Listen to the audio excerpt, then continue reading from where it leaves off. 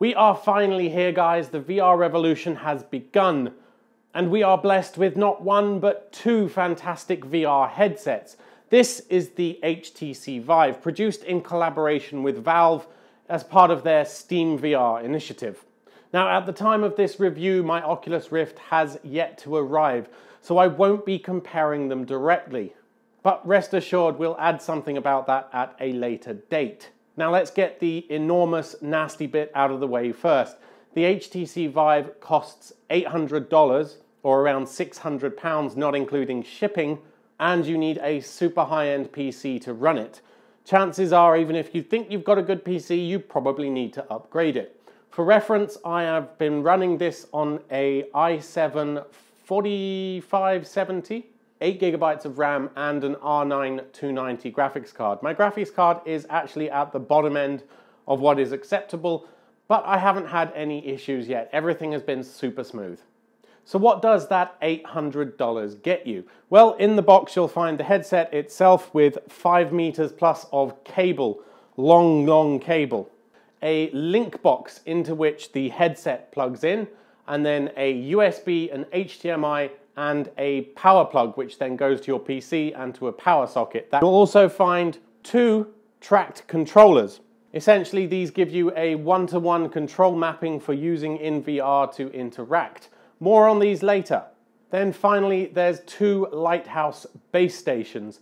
Little cubes that sit in the corner of your room, about two meters off the ground and pointed downwards in either corner of your play space. They can be up to five meters apart and this is how you define the square or rectangular area in which you're going to play.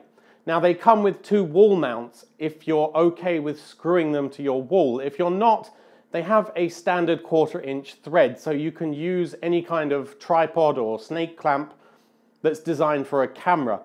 Each base station also needs to be plugged into a power socket. So it took me about 20 minutes to get everything plugged in and set up, not including rearranging the room, but essentially it's not a huge undertaking. It's not. So let's talk about the hardware itself. The headset it has two screens in it, 1200 by 1080 for each eye and refreshes at 90 Hertz. They use Fresnel lenses to give you a wide field of view and a nice sweet spot in the middle.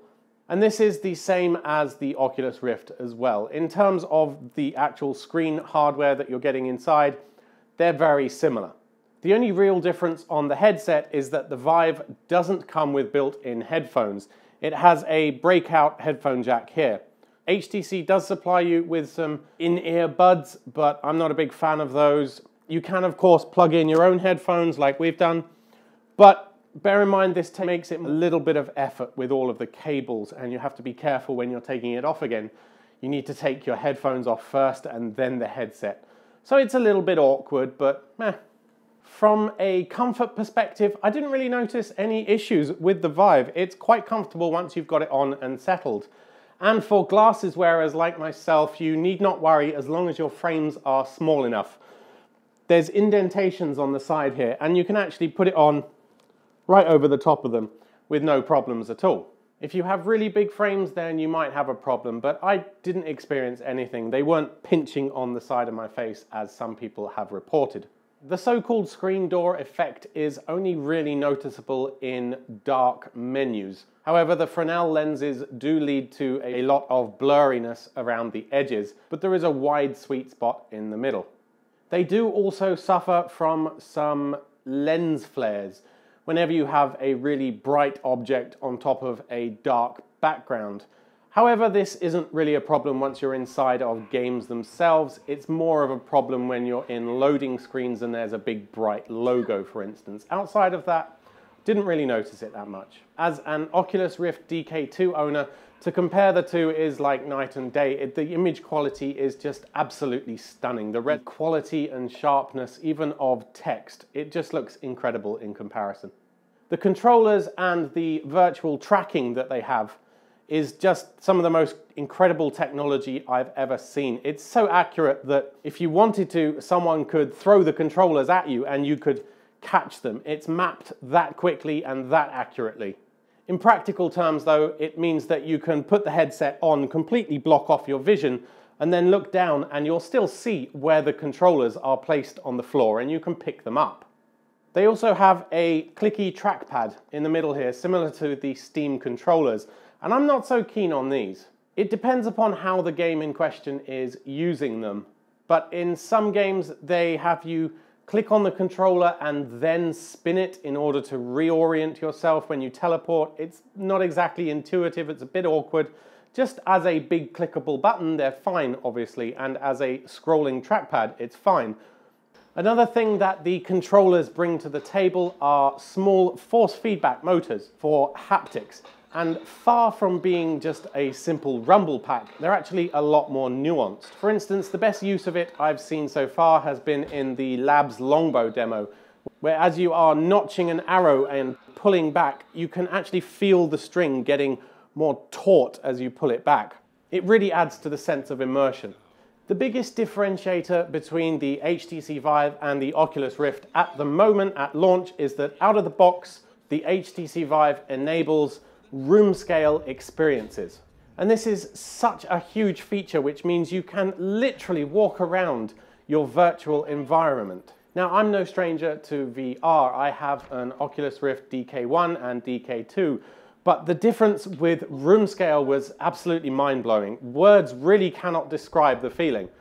It's something that you have to try for yourself and you're gonna have to take my word for this.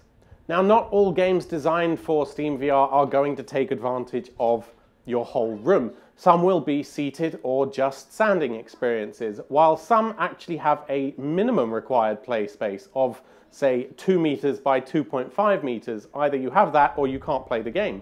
Some will also scale to take advantage of your entire room.